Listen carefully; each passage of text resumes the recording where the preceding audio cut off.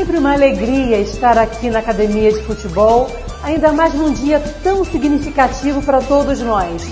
A apresentação do nosso novo técnico, Abel Ferreira. Tive a oportunidade de conversar com ele, gostei, gente, demais.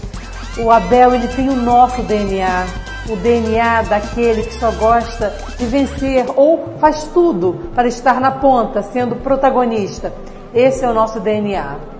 E lógico, falei com ele que estou à disposição, que eu estou sempre ao lado do Palmeiras para contribuir no que for necessário.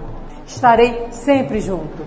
Se depender de mim e do nosso técnico, estaremos sempre, sempre nas pontas, sempre vencedor.